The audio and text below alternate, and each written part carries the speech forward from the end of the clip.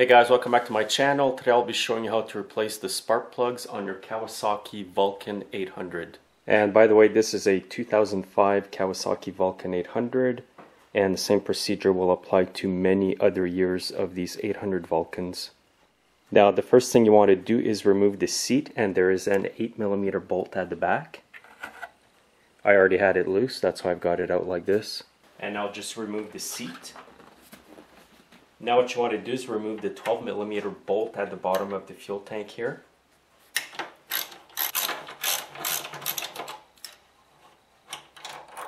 Now you need to remove the 8 millimeter bolt holding your dash on the fuel tank.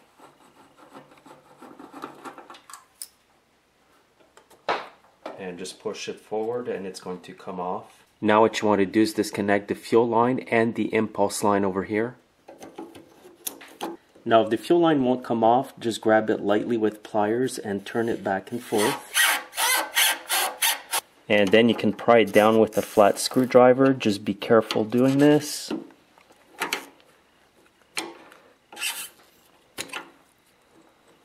There will be a bit of fuel that will spill, but it will stop. Now I'm going to remove the impulse line.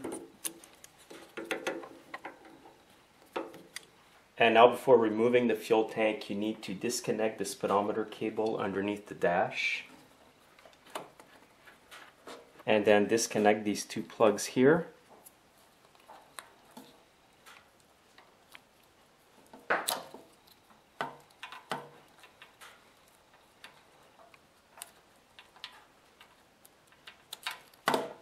Now your dash will come right off. Once you have the dash off, there is another 12 millimeter bolt here holding the fuel tank.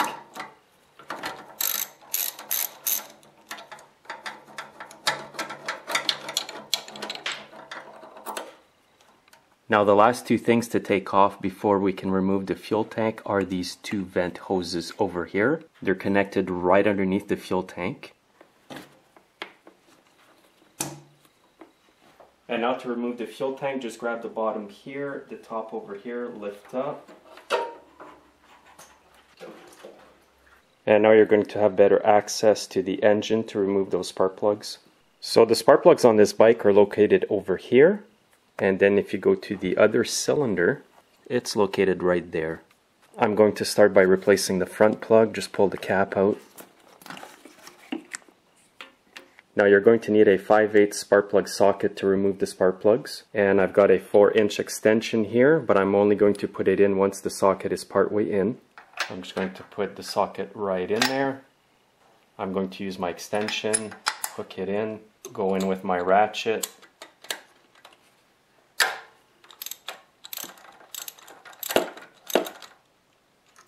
It's a bit awkward getting the plug out because of the space restrictions.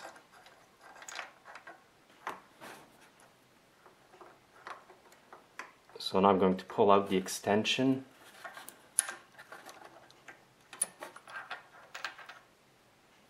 And now to retrieve the spark plug, I'm just going to go in with the spark plug cap. Once you've got the cap hooked into the plug, just pull out.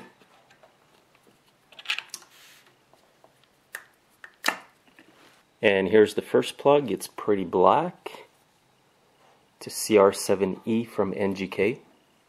To remove the second plug, just reach in and pull out the spark plug cap here.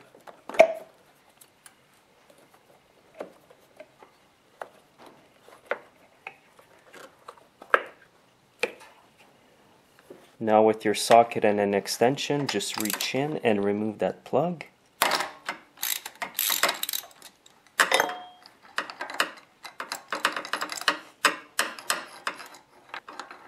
Now if you're using a good spark plug socket, you will be able to just retrieve the plug with the plug stuck in the socket. And here's a quick look at the second plug. And I believe these were the two original spark plugs in the bike. The bike now has 9,000 kilometers. And again, here's the number on these plugs, CR7E. And I'm replacing them with NGK CR7EIX and they're iridium plugs. Now the NGK Iridium will cost a bit more than the NGK Rs. I'm not exactly sure of the benefits of putting the CR7EIX Iridium plugs, but because it's so much work replacing the plugs in this bike, I just thought I might as well get the more expensive ones. It wasn't quite that much more, and maybe it's going to help out with different things. And here's a close-up look of these plugs. It's got a tiny electrode in there, and I am leaving the gap as it is coming out of the box. The gap is at about 28 thousandths of an inch.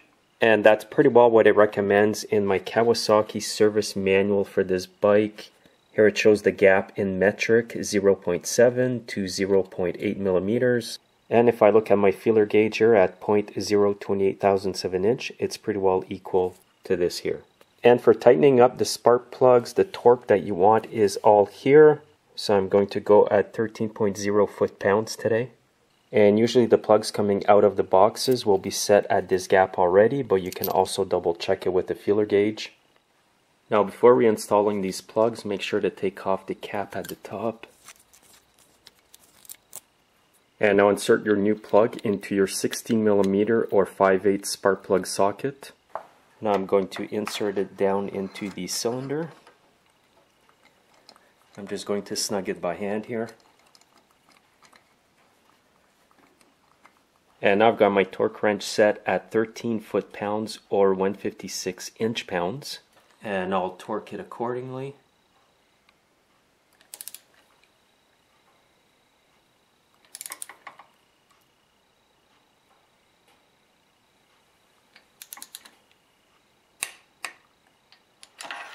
And I'm also going to add some dielectric grease.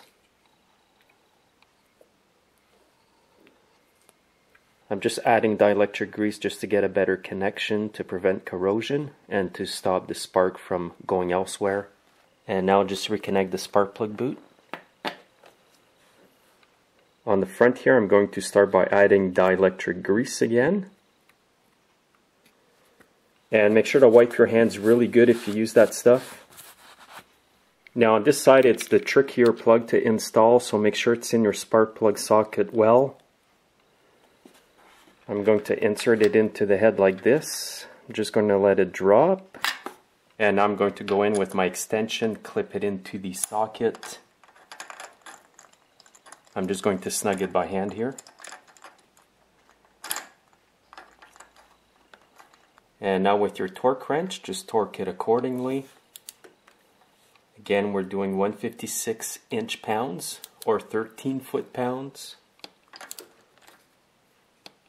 And when you're installing new plugs, the new washer will squeeze a bit or squash itself, so you will be tightening a bit. And we got the clip. And now what you want to do is just remove the ratchet. And if it's a bit tight, just hold the extension with pliers. Now I'm just going to go and retrieve the socket. I'm going to hook back into it, pull it up. And you can see the spark plug socket here. I'm going to hold it with pliers and remove the extension and now I'll just pull the socket out and now I'm going to reconnect the spark plug boot so now we have the spark plugs installed before I put the tank back on I will check the condition of the coolant and this is where the cap for your coolant is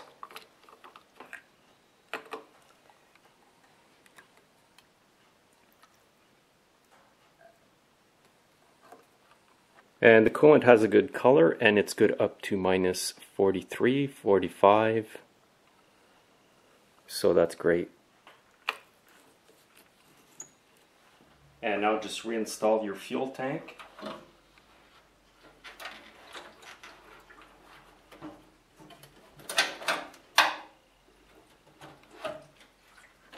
Now these breather hoses here go on to a hook underneath the fuel tank. You want to get them in there, it just keeps them out of the way. And what you want to do over here is just reach up and connect them back to the connectors. And I'm going to reinstall the bolt at the top here. And again, it's a 12 millimeter socket.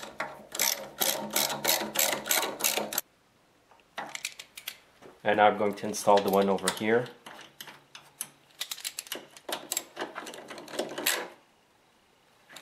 And now I'm going to reconnect these connectors on the dash here.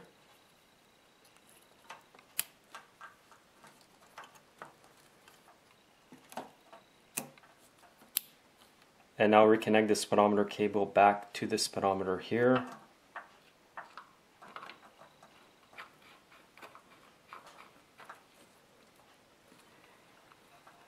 And just tighten it up by hand, that's all. Now reinstall the dash and there is a clip under here that does go into here. You'll know it's clipped in when it's locked in like this. Now install the 8mm bolt.